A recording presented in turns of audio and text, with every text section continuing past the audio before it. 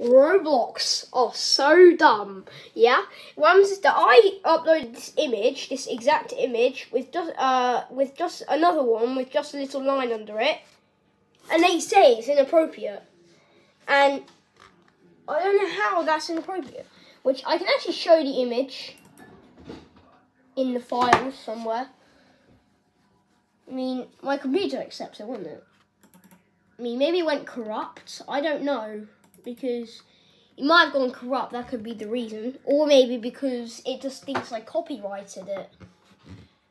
Look, look, just this. I that was this is the exact same image with just this under it.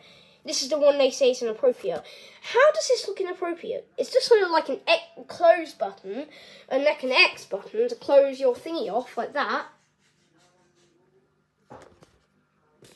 A close button, just like to for that and they literally just honestly, you, guys, you should actually look, uh, actually watch out for Roblox moderation because free models can get you into getting a moder uh, into getting a warning because I've done use a lot of free models in this game once and they literally just sent a warning to me.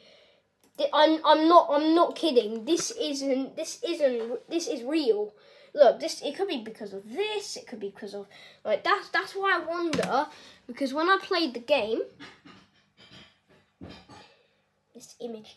Shut up, Roblox.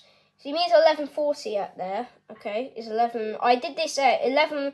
I did this at 540. Um, 540. So, um, once I play the game, uh, since they say it's inappropriate, it's just going to disappear, which it was going to use uh, that image was supposed to be um, this one. Now, I just tried to make a Baldi's Basics thing, but Roblox is so dumb. You should check out Kaneko Kitten's video called um, um, Roblox Mod at it again because they do really dumb things. So bye.